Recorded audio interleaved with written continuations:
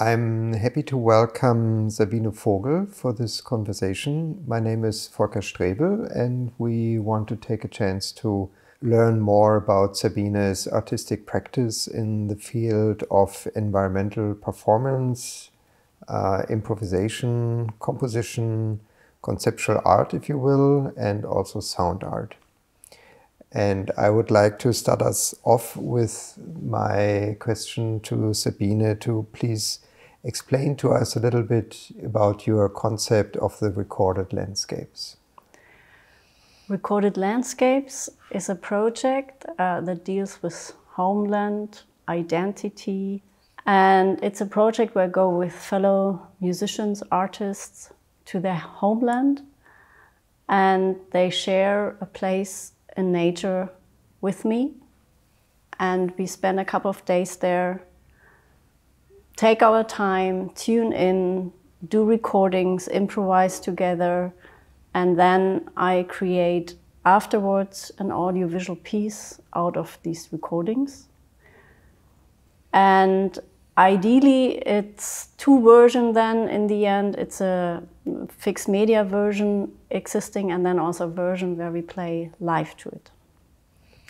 So I understand correctly that you and a fellow musician go at a specific place outdoors. Yes. And then what happens? What are you doing there? First, we tune in. Tuning in is a method, uh, method that I'm using to connect to a place. Mm-hmm. It's a connection to an outdoor place environment can be also inside. And it's also connecting to the person I'm there with. And this implies listening to the environment, but it also implies telling stories to each other. When you go to a place that somebody knows very well, there are a lot of memories mm-hmm. to this place. And this makes me knowing the person better and also knowing the place better. And so we spend time there. That's very crucial in this project that you mm-hmm. have time. That's not like running there, doing something, and then leaving. It's really taking your time and um, connect to what there is. And then it can very it can be very different. Um, I did a piece with Marta Zapparoli. She's a sound artist from Italy, living in Berlin, and she took me to her village that's close to Verona, and she shared a place with me um, that she never ever shared with somebody else. Even her sister didn't know this place. So this was a place where she went as a child when she needed her space, when she needed to think. And so I was the first person who knew about this place. And this was very special. And the first day, I felt like I disturbed there. So mm -hmm. we tried to improvise together. Marta Zapparoli plays tapes and antennas. So she literally tunes into the environment with her antennas. Beautiful. and I started to play, so we played together, and then I stopped playing and stepped back because I had the feeling I was like a. Um, like an invader? Like an invader, yes. Mm -hmm. So I stepped back and just started to observe her. And so I filmed her, I recorded, recorded her. And um, the next day she, she had to go somewhere else. So I went alone back to this place and, this, and, and kind of introduced myself to the place. And then it was okay.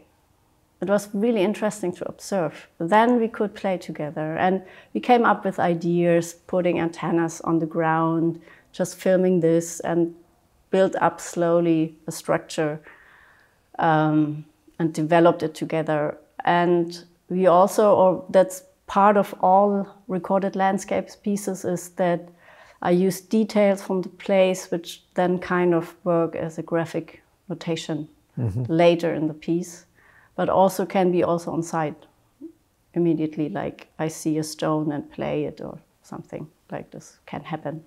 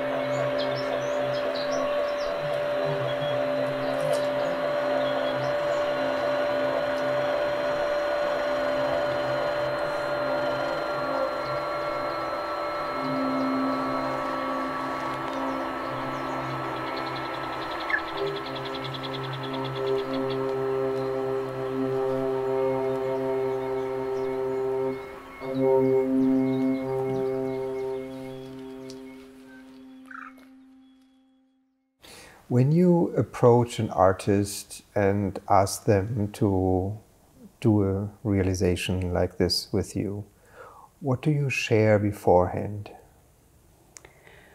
I share the idea of this, and um, often, often it's like I tell people about this project, and it's interesting. Very often, people immediately start thinking, "What place would it be I would bring Sabine to. Mm -hmm. So um, this is how it can happen. Then Marta, I did know very well already before. Also, I did a piece with Biljana Vučkova. She's a Bulgarian violinist, also living in Berlin, and she brought me to the coast of the Black Sea. And uh, we spent a couple of days at the beach, even sleeping at the beach, mm -hmm. really staying there for five days. And also Biljana I did know very well. And uh, Bennett Hogg is another person. We were together in Landscape Quartet. And so this was pretty clear, you know, to do this with these people. And now the piece I did um, uh, during my stay at the Villa Aurora is with uh, Philip Greenleaf. He's a saxophonist living in Oakland, but he grew up in Los Angeles. And um, I met Philip 2004 when I was on tour in the US. We met briefly, we played together, and somehow I followed his work and I could see that he's also a person who's very strong, very connected to nature. And he often goes out in the fields and the parks and just plays a saxophone there. So I thought this is the right person for this project, and I wrote to him, explained the project, and he said, "Yes, I think I take you to the Joshua Tree Park." Mm-hmm. And this is where we went to. I get the impression from your description of this project that this is very much in an oral tradition. You don't have a concept of a fixed composition or a conceptual score that you share. Is this correct? And if so, why don't you have a score that you send to participants? A score would make any sense on this project because okay. it's a project that's a process. Mm-hmm and it's some it's uh, we develop something together. Even if i then take the material and compose with it it's a project that's based on being there together on improvising together improvising with the natural environment with the landscape that's there being influenced by it. Because i think I do have my vocabulary on the flute, but there is an influ- influence on me and my co-player where we are, and there is the natural forces that can distract or contribute to what we are doing. So there is no way to do a score in beforehand. Mm-hmm. But what we do is sometimes, like with Biljana, we found these little stones. It's like little pebbles. They are completely mm-hmm. white and have very fine black lines, and they look like a graphic score. So we used these stones as a score then. But this was not planned beforehand. Like we went along the beach, found them, and then was mm-hmm. like, oh, this looks like a score. So mm-hmm. we used it as a score.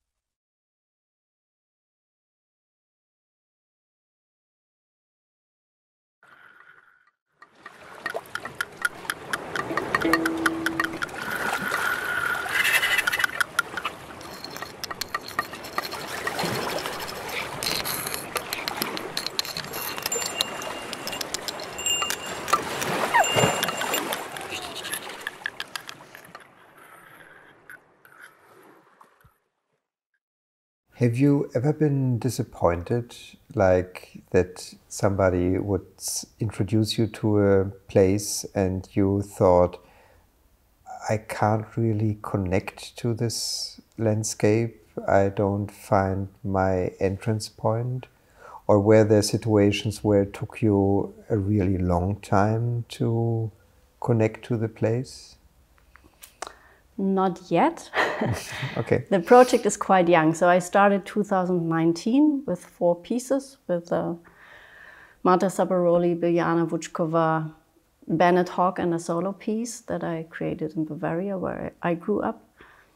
And now I did the piece with Philip Greenleaf. Um, so it hasn't happened yet. It was always uh, very inspiring, and all the pieces are very different. Like what we experienced or what I experienced was very different. Like every person is different, every landscape we enter, or I don't know if this is the right word, but it's different. And the landscape is a co player, it's a very um, mm-hmm. crucial co player in this project. Would you consider your work environmental in a sense of the fact that you are also addressing environmentalist concerns? Yes, I would say so because I feel so nature or being outside is very important for me. It was always. I'm a typically country girl, and um, so my I yeah I have environmental concerns, and I think I hope with my art um, I can make people aware of what's what's around them. It's really about uh, treating where we live in a very respectful way, and I hope this uh, this is something I would like to do with my art. You know, like when I go out in the field, I go and listen I hope that people listen different maybe after they perceived my work. When you introduced the concept of the recorded landscapes, you used the word homeland. So it's not just the question of the landscape or nature in general, but also specifically the relationship of the fellow artist you're collaborating with and their relation to this area. Am I understanding this correctly that you are also interested in the more so sociological or political implications of the connection of certain people to the environment? Yeah, maybe, I don't know politically, but it's, I think where we grew up, it really influences us who we are.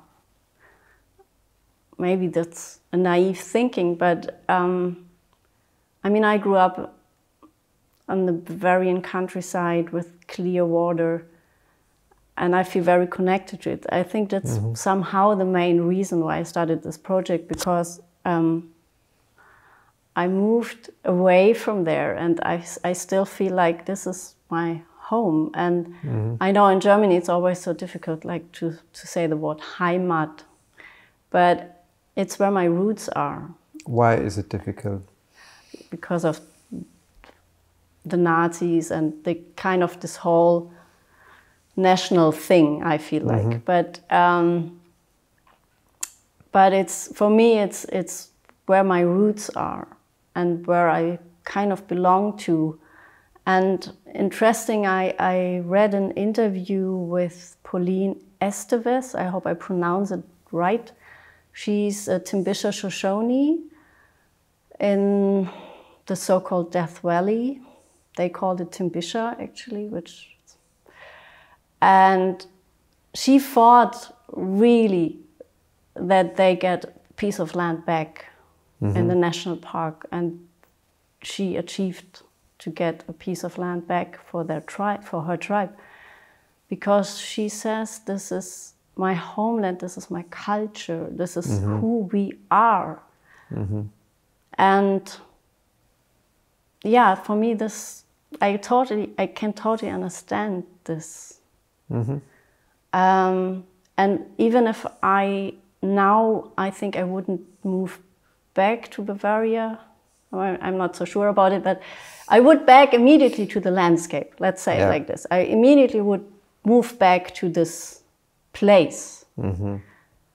It's a different topic. What's around it? Yeah. But so so I'm really speaking here about the nature and the landscape that's kind of influencing who I am and all these memories we have there that makes us who we are. How would you describe who you are in terms of your artistic practice? You are a flutist, you are um, improviser, you are a composer, maybe you are an author of the documentation or the videos that are related to your work. Are you a composer, performer? Are you a performing artist in a wider sense? Are you a conceptual artist? I think I st- still see myself as a flute player. That's also very crucial, and uh, that's, that's how I, I raised. I started very, very early to play the flute. Um, so this is with me kind of all my life. Um, and I always wanted to do my own music, create my own music. So I played early in bands and um, um, yeah, and started to play jazz. Uh, so this is this. I'm a flute player. I'm an improviser, and I'm a performer composer. And this environmental art is also very crucial. Became very crucial. Um, I started first with field recordings, and now I go really out in the nature and create on-site pieces. So sound art became also a part of what I'm doing. But it's all one thing for me. So it's very difficult to say it's this, this, this. So it's it's it's all me.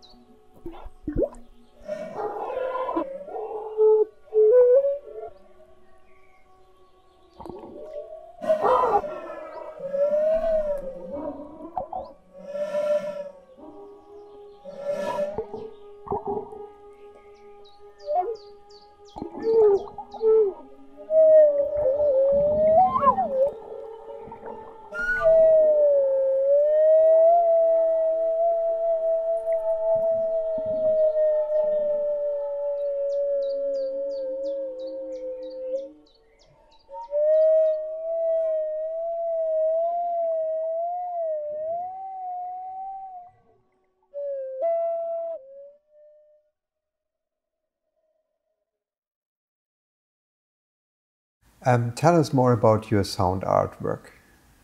I love to do recordings. I had a job as a sound designer. I think this is how I started to do field recordings because um, I was always searching for the sounds I wanted to have, and they had this huge archive, and it was really exhausting to go through the whole archive and listening to all these sounds. Mm. And I was like, it's much easier to do it by myself. And this is how I started. And then uh, in 2006, I, I created my first solo CD with just water and ice sounds and flutes and electronics.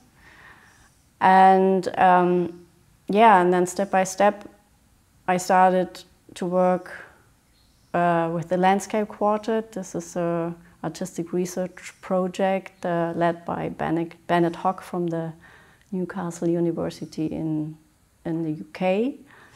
And this is when we, when I or we all together went out in the fields and did research recordings. And then I started, so it was a logical step actually from doing field recordings outside, bringing them to the inside and then it was like we go outside, bringing our improvising skills to the outside. And then also recording, like doing field recordings, became really an active thing. It's not just sitting still there. Even if I'm sitting still there, I feel like I'm doing something actively creative. Um, it's, it's an active listening. Mm-hmm. But I also started to play microphone, like to move the microphones around, or I did a piece in a little stream in the UK. I had two hydrophones, different hydrophones, and then I just started to move them in the stream. So I improvised with the stream and the microphones. So it's an active process out there. You also did sound installation work. And I'm wondering maybe you want to say something about pieces that you created, but I'm also wondering to which extent do your experience of doing sound installation work, which has a completely different approach to time than performance based work, how this work influenced your work in the field? Because it's a different time concept. Yes. Yes, I think with my sound installation, I often try to bring what's outside to the inside. Like this feeling that I have outside, this deeply connectedness I can feel. Uh, I that's my goal. I don't know if it's always happened, but the goal is to bring this an atmosphere from outside to the inside, but at the same time creating something new inside. Also play with the space inside but using these sounds from out there. Um, and for instance, I had this piece, Cairn, this uh, was a recording in Allenheads in Northumberland, and I put different sized bamboo flutes, bansuris, in the ground, and the wind played it. And eh, so I took these sounds, these recorded, I recorded it, and I put these sounds inside and different sized speakers. So this was mm. the mm-hmm. equivalent to the mm-hmm. different size flutes, the different speakers, nice. and created a field of sound there. Of and it was the wind playing the flutes. So it's I try to connect this always somehow the outside and the inside, which is a crucial point in my work. I think this also when I work outside in the fields, it's like I, to connect my inner landscape, so to speak, with the outer landscape, and have so to get in, to have this connection, and with this connection or like feeling this connection, then this helps me to go in a creative process. One of the challenges of process oriented work and conceptual work is how you communicate the piece to the perceiver. So, when you have these experiences outdoors, you meet with another musician or performer, you do your performances somewhere outside. How do you communicate this to an audience? And I think this is a very crucial question because it turns you suddenly in a person who is also in charge of documentation. And then this also leads to the question about the art status of the communi- of the um, documentation. Yes, that's a very very good question because this is a question I I'm questioning out there. How do I, yeah, how can I um, bring this experience I had outside to the audience? Or it doesn't need to be the same experience, but they, mm-hmm. they have a experience. One thing is that you said the documentation, I think with the recorded landscapes, it does help that it has visuals. It might be difficult if it would be just um, an audio piece. Um, what I do with the recorded landscapes, um, I do a small meditation with the audience before we start playing the pieces. Mm-hmm. Uh, actually, I dreamt about it the night before the premiere of the first four pieces. And I was a little, I woke up in the morning and was like, wow, this was a strong dream. And then I talked with Bennett about it. I said, you know, I dreamt that I should do a meditation with the audience, which is, I have to, was for me really a big step to do. I mean, it's not mm-hmm. so easy. And then he was like, you dreamt it, you do it. so there was no question about it. and I did it. And it was very well perceived. And for me, it's that I sent the people to a place that they like, that they have a good memory of, and try to send them really to, to sense the place while they are sitting here in the room, but to have this memory of the place, how it smells, how it looks like, what the sounds are. And the feedback I got so far is that it really helps people on one side to be present in the space and forget about what was one hour before. Mm-hmm. But it also helps to perceive the piece different. So this is one thing I started. It's quite new to me as well, so um, I'm working on it. But also the documentation, I think it's uh, important. The yeah, as I said, the visual side of it can help to um, bring the people to the place where we were. Um, and I think the whole documentation side, which started for me when I started with Landscape Quartet, to work with the Landscape Quartet, as it was an artistic research project. And in these kind of projects, you always have to document everything. And um, so this is somehow how it started also that I worked with visuals. So the documentation became an artistic part. What I find really interesting is that you seem, and I'm just observing this, mm. that you seem to avoid text.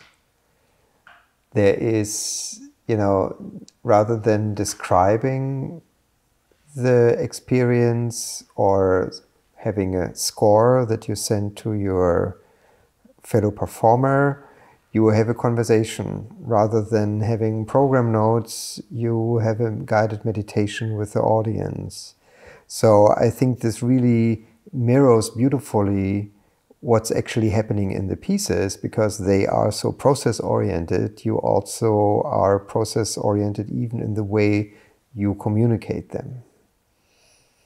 It's not a nice observation. Even i do write program yeah. notes.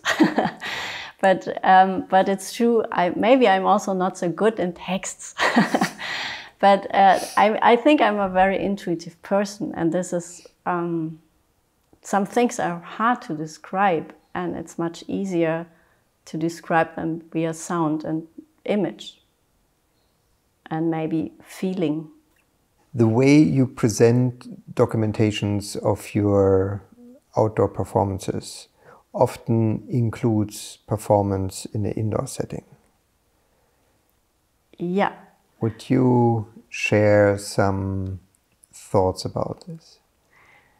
Um, like recorded landscapes is um, is something like this.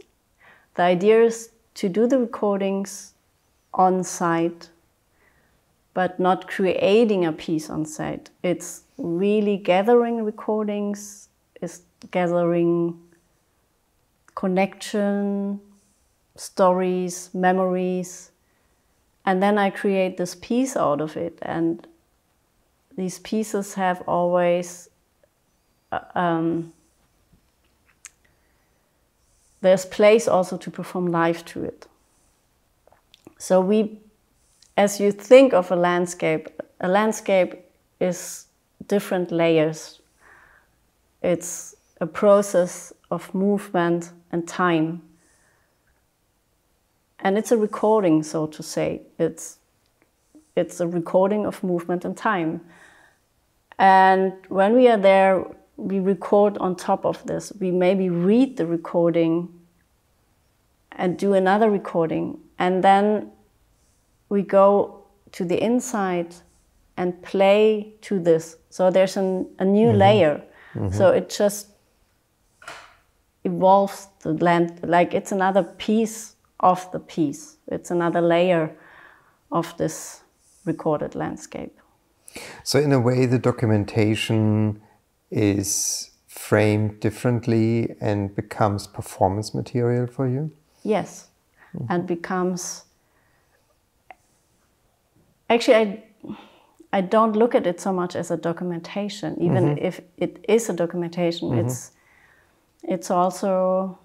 Um, the thing is, when we enter a landscape.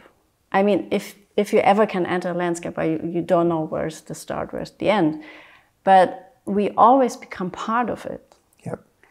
So there is no. I'm doing. I mean, I do also like videos where you don't see any humans, but in this in this case, it's part of it that we are in this landscape and we are part of this landscape and we are mm-hmm. part of the memory. We are part of the story that happens there. So it's quite normal that we are also in the image. Right. So it's the question: Is this documentation? Is this art, or what is it?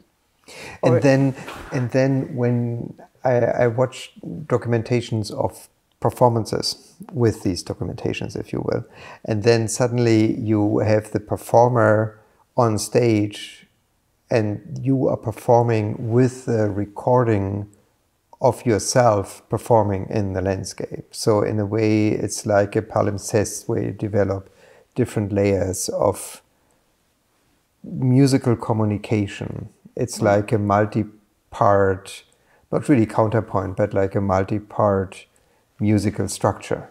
Right. Yes. Mm-hmm. And it's it's us. I mean, it's right. like it's a part of us was there at this moment in, in the past and now we're in the present, but the past is, is still with us. So. Mm-hmm.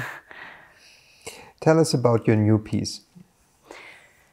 The new piece is uh, with Philip Greenleaf, and when I talked to him about this recorded landscapes project, he was immediately into it and he said, You know what, I bring you to the Joshua Tree Park. And I had no idea what amazing landscape this mm. is. Um, these trees, the stones, rocks, they are like sculptures. They are like somebody put them there. It's unbelievable that this is. There are no words for describing this landscape. I, and I have to say, I was um, very touched by it. Also, I, I was sitting in the field of these cactuses is this the plural of cactus? Cactuses? um, and I cried, and I, I cannot tell why. Mm. I was so touched by this. It was amazing. And the work with Philip, he's a player, he's an improviser. So we did a lot of playing on our actual instruments. Very often in the past pieces, I like especially with Bennett, Hogg, I you, you know we, we work with the sand, we work with stones, And with Philip, it was very much about really playing in the landscape. And I, I think it was also the first piece where I brought my real flutes. In the other pieces, I very often play the bamboo flutes. I mm-hmm. bring the piccolo, which is a practical reason also, like with a concert flute or the bass flute. It's sometimes difficult, but this time I brought them. Mm-hmm. So this is a big difference. And also, I thought about it later. All the other places had a soundscape. And Joshua Tree has a soundscape as well, but it's super quiet there.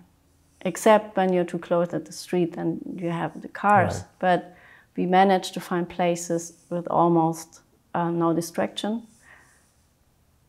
And I mean, this is the special thing about a desert this quietness, the, the stillness. And we had one improvisation we did, this was in the evening, and this was really magic. There's no video documentation of it, but it was at Indian Cove because the birds were really beautiful in the evening, the bird calls. And it was a very calm place and very special place. We both felt like this is this is such a peaceful place here, and the birds started very, you know, here, and then a bird called there, and it was very sparse. And Philip and I were, standing. I think there were ten meters between us, but we brought. He brought his clarinet, and I had my bamboo flute with me, and then after five minutes or so, we started really slowly to communicate with the birds. And then the moon came up. The sun, it was mind blowing.